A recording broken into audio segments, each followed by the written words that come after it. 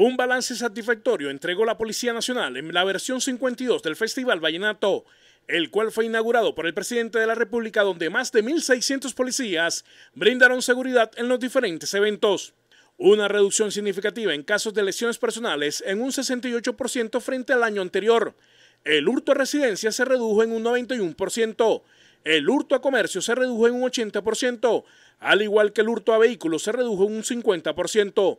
Se logra una disminución del 63% en el hurto a personas. No se presentaron hurtos de automóviles, obteniendo una reducción general en los delitos que afectan a la seguridad ciudadana del 67%.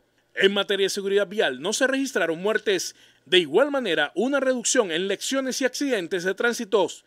En lo referente a la aplicación de las normas de tránsito se impusieron 496 órdenes de comparendo, 43 de las cuales fueron por conducir en estado de embriaguez.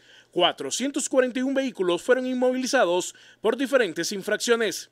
Bueno, nosotros en pocos días ya tendremos un dato generalizado eh, sobre los costos, sobre todo lo que fue la organización de este eh, festival eh, de verdad que estamos también organizando para la entrega de premiaciones, se lo manifesté al señor alcalde, de que queremos hacerle un bonito espectáculo, no solamente por lo que eh, se merecen los concursantes, sino que también el pueblo eh, sienta eso que se vivió en el festival y que obviamente eh, le, demos las gracias a todo el equipo, a todas las personas que participaron en esta organización de este festival.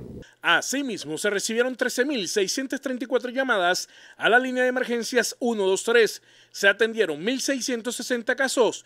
De igual manera, las patrullas atendieron 442 riñas, 6% más en comparación del año anterior.